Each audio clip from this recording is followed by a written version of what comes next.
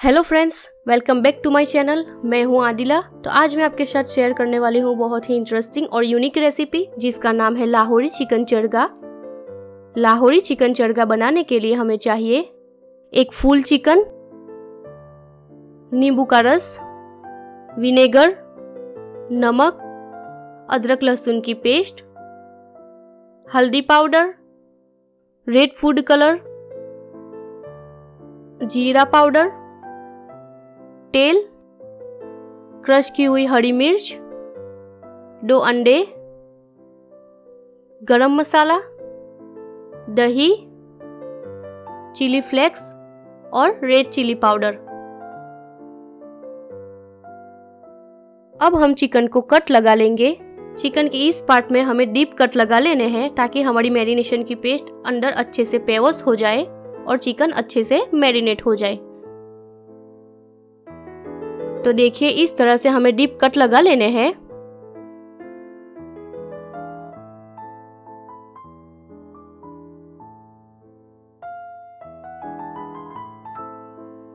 तो हमने चिकन को कट लगा लिए हैं। अब हम चिकन को साइड पर रखकर मैरिनेशन की पेस्ट तैयार कर लेंगे। तो हमें एक बाउल में दही ऐड कर लेना है।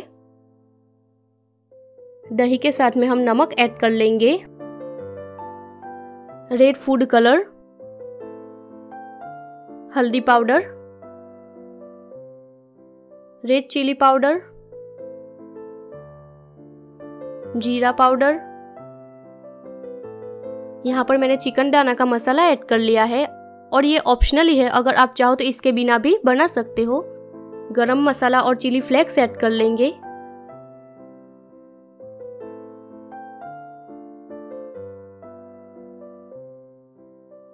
क्रश की हुई हरी मिर्च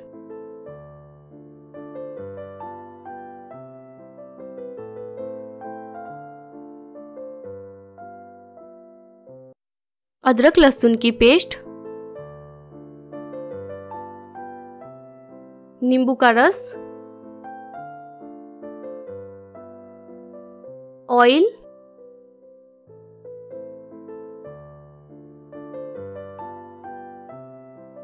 विनेगर ऐड कर लेंगे। उसके बाद हम अंडे ऐड कर लेंगे। यहाँ पर मैंने दो अंडे ऐड कर लिए हैं। आप अपनी क्वांटिटी के हिसाब से अंडे ऐड कर सकते हो।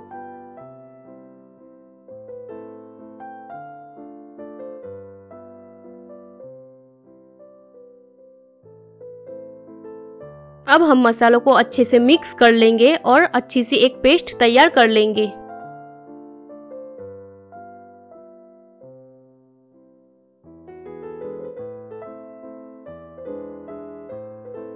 तो देखिए मैरिनेशन की पेस्ट बिल्कुल तैयार है। अब हम चिकन को मैरिनेट कर लेंगे। चिकन को हमें प्रॉपर तरीके से मैरिनेट करना है ताकि हमारे चिकन में मैरिनेशन की पेस्ट अच्छे से पेवस हो जाए और चिकन अच्छे से मैरिनेट हो जाए।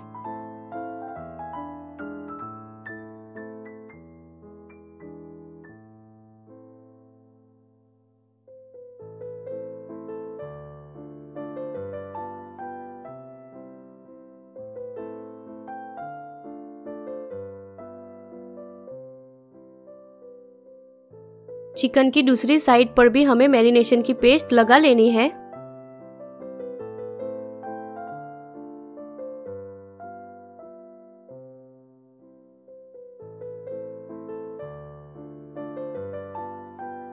तो हमारी चिकन अच्छे से मैरिनेट हो चुकी है। अब हमें चिकन के इस पार्ट को पतली सी डोरी से बाँध लेना है ताकि चिकन फ्राई करते टाइम चिकन के पार्ट अलग ना हो जाए।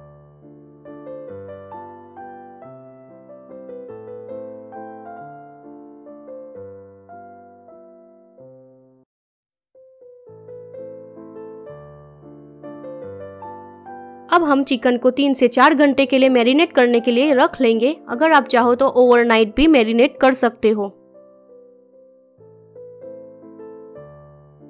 दूसरी तरफ़ हम चिकन को स्टीम करने के लिए गर्म पानी रख लेंगे।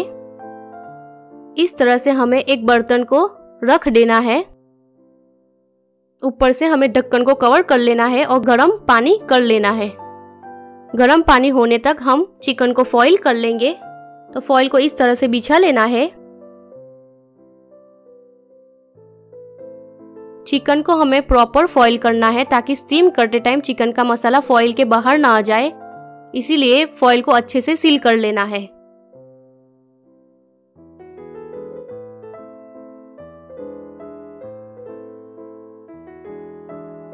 तो देखिए हमने चिकन को फॉइल कर लिया है। और एक तरफ़ पानी भी गर्म हो चुका है स्टीम के लिए तो चिकन को हम बर्तन में रख लेंगे। और अच्छे से स्टीम कर लेंगे। अगर तीन से चार घंटे के लिए आपने मैरिनेट किया है तो आपको 30 मिनट के लिए चिकन को स्टीम कर लेना है और ओवरनाइट अगर किया है आपने तो 10 से 15 मिनट के लिए हम चिकन को स्टीम कर लेंगे। तो अब हम चेक कर लेंगे चिकन स्टीम हो चुका है।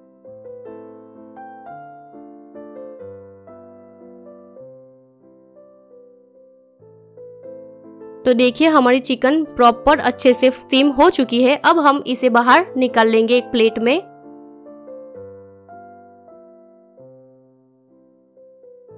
और चिकन को फ्राई करने के लिए तेल गरम रख लेंगे। हमारा तेल गरम हो चुका है। अब हमें स्टीम चिकन को फ्राई करने के लिए रख लेना है।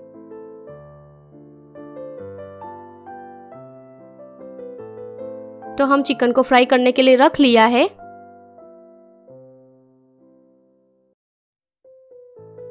चिकन को हम ढक्कन से कवर कर लेंगे और एक साइड पर पाँच मिनट के लिए हम अच्छे से फ्राई कर लेंगे।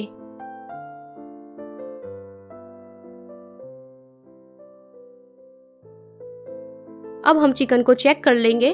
तो देखिए, एक साइड से हमारी चिकन अच्छे से फ्राई हो चुकी है और क्रिस्पी भी हो चुकी है। दूसरी साइड भी हमें चार से पाँच मिनट के लिए फ्राई होने के लिए रख लेना है।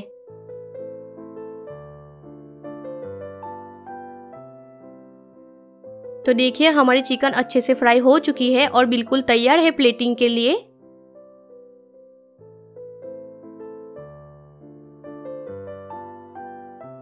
अब हम चिकन को बाहर निकाल लेंगे और प्लेट में रख लेंगे।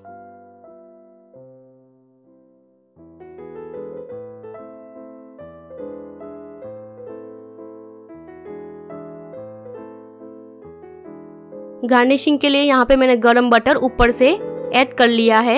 इस तरह से हमें बटर को डाल लेना है।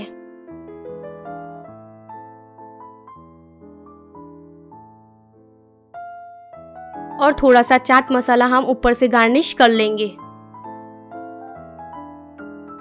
तो लीजिए, बिल्कुल तैयार है हमारी tasty Lahori chicken charga so thank you so much for watching my video अगर आपको मेरी वीडियो अच्छी लगे तो लाइक करें शेयर करें और सब्सक्राइब करना ना भूलें।